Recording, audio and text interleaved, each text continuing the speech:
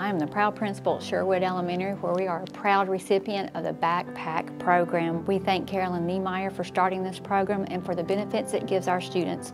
Students who come to school hungry can't learn. They focus on where their next meal is, not on what they are learning. Participating in the Backpack program and all the benefit it brings our students helps our students feel confident that they can come to school, they can learn, and they can focus because they don't have to worry about where their next meal is coming.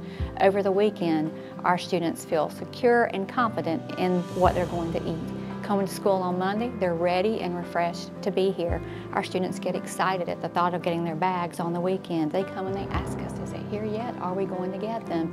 That gives our students a level of joy because it takes that worry and that stress away. And for that, we cannot thank the Backpack program enough for what it provides our students, our school, and our community. In this time of increased hardship, we appreciate the Backpack program maintaining the integrity of the food that our students receive. It is now more important than ever that our students receive the nutrients their bodies need to learn and grow.